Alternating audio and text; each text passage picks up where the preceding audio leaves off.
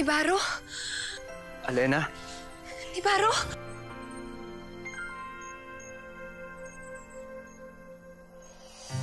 Nag-iisang muling yakap-yakap ng ulan sa lupa Maghihintay na lang ng muling pagdating mo Bakit kaya pinagtagpo? Kore. Mahal mo ko? Ngunit ang sabi mo sa akin noon na hindi mo na ako mahal. Na hindi tunay ang iyong nararamdaman para sa akin. Nagsinungaling ako ng mahal ko. Sapagkat kinailangan ko lumayo. Dahil sa pagkakaalam ko, hindi tayo nababagay at ah, hindi tayo karapat dapat.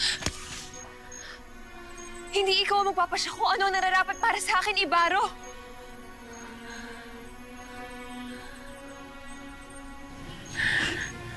Mo ang mahal ko. Tawad. Ngunit marami na nagbago. Simula nang yumao ka. Alay na akala ng lahat eh. Mahabang salaysay, Ibaro. Ang importante ay mahanap ko ang aking kapatid. Si Amihan, asan siya? Alam mo ba kung saan mahanap si Amihan? Hindi. Hindi ko alam kung nasa si Amihan.